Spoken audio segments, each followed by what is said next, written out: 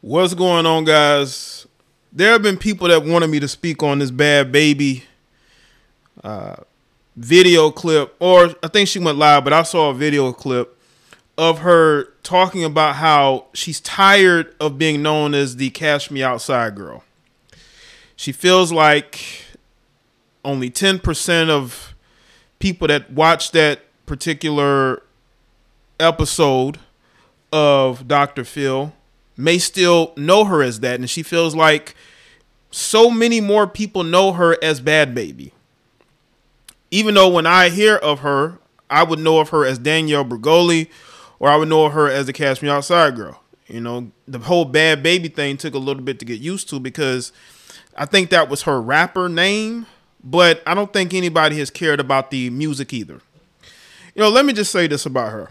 I, I think that she wants to run away from what made her famous, that made her known.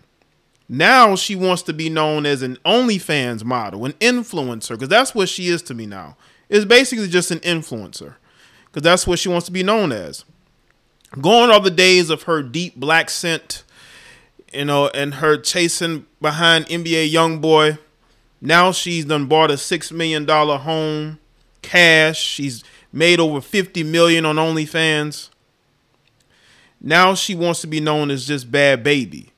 Uh, but if they know her as Bhad Bhabie, it's the OnlyFans model influencer.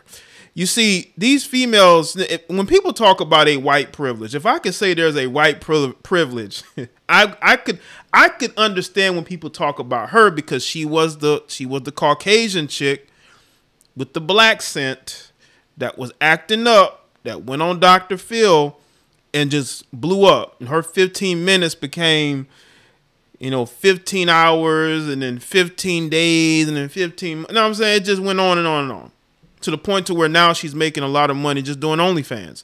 She made a million dollars within hours of joining OnlyFans. Remember that?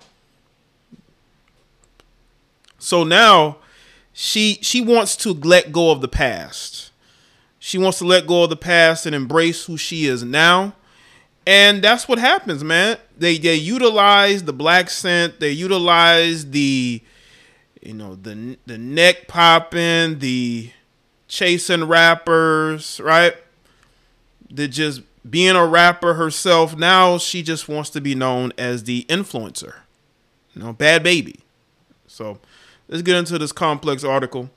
Bhad Bhabie, who purchased a $6.1 million Florida mansion earlier this month, now claims she made 50 million on OnlyFans. The controversial high beat rapper, whose real name is Danielle Bregoli, originally went viral for her wild appearance on Dr. Phil alongside her mother in 2016 when she first uttered the catchphrase, Cash Me Outside.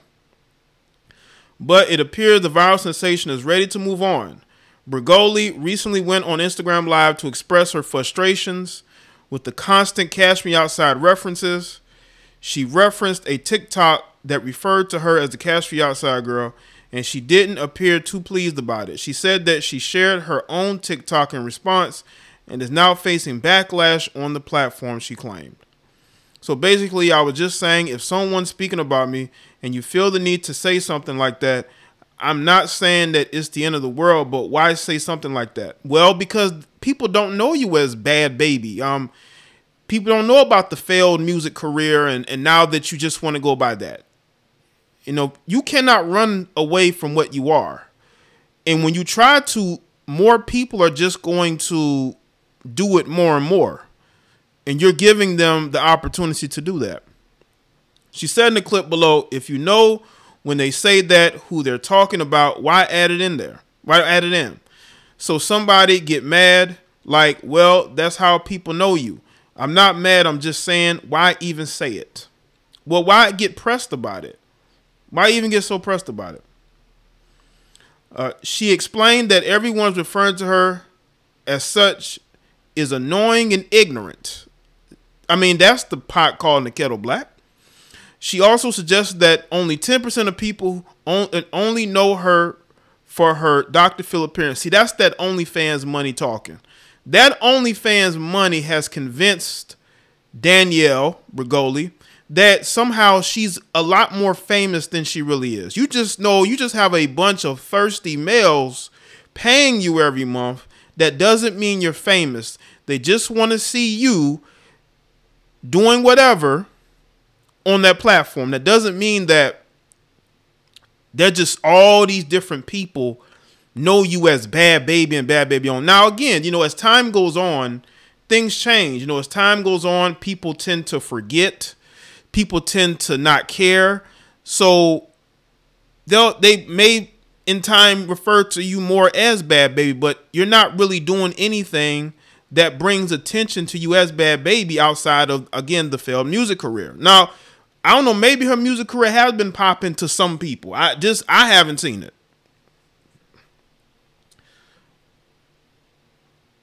That's an article here.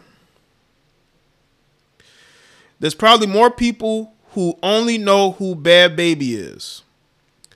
During the clip in which she says she's the youngest female rapper to go platinum, Bregoli claimed that she made 50 million from OnlyFans upon launching her page last year. I don't think she pocketed 50 million. I think that OnlyFans got their percentage and I think she got the rest. So in total she probably made that.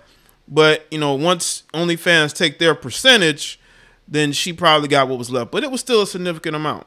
Upon launching her page last year, Bregoli showed that she made over a million in just six hours. If her claims are true, that would put her among the highest earning OnlyFans creators in the world. It's not clear over what time frame she made that much money though, but she claims you know, she does charge about two what that 25 uh, let's say 24 $25 per sub.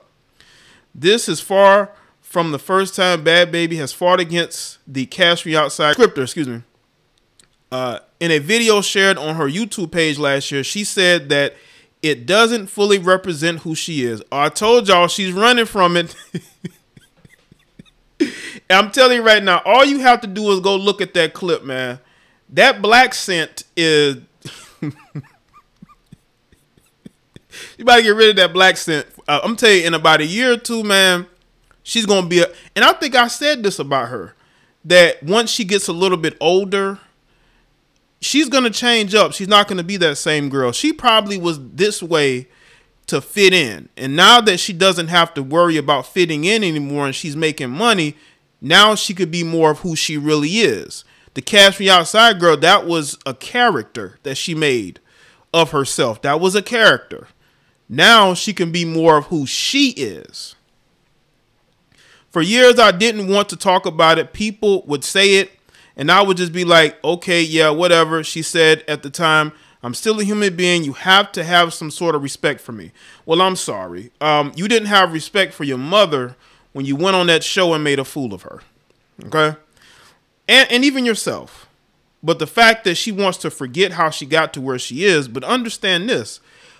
Those a lot of those guys that sign up for your OnlyFans, they know you as a cash outside girl. Okay? They know you as that teenage girl that was on that show. Some of these guys probably couldn't wait till she turned 18 so they can go and subscribe to her OnlyFans. That's what they know you as. I, I don't think that's going to change anytime soon. Now, now maybe some years, maybe this is why I believe she's gonna totally change her image. I believe she's gonna totally change her image to where who she was is unrecognizable to who she is now because that's what people are gonna tell her. They're gonna say, listen, if you truly want to change your image, you need to change things about you. You know, don't get no more tattoos. You can, you know, you could either get some tattoos removed or you can stop getting tattoos maybe change your hairstyle change the way you speak change the you know your body language the people that you hang around. That's what they're going to tell her.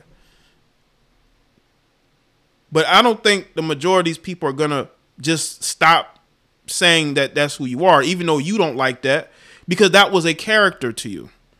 And you're not that you not that character. You never really were that character. But once you were able to do what you're doing now, you want to distance yourself from it. So, like I said, so uh, let me know what y'all think in the comment section below. Let me know your thoughts. Like this video and share it. Follow me on Facebook, Twitter, and Instagram, and I'll see y'all next one.